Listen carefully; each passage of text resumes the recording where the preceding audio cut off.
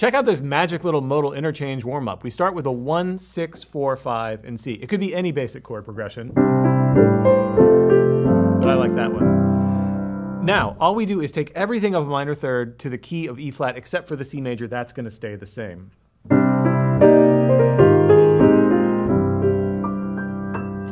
We can do this with more complicated chord progressions as well, like a 1, 6, 2, 5. We're going to throw in some mu chords, some secondary dominants, some tritone subs.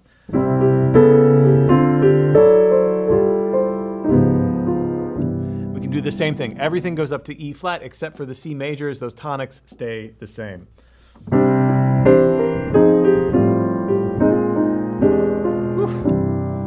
Amazing. Don't forget to subscribe and check out part two where we do some interchange inception.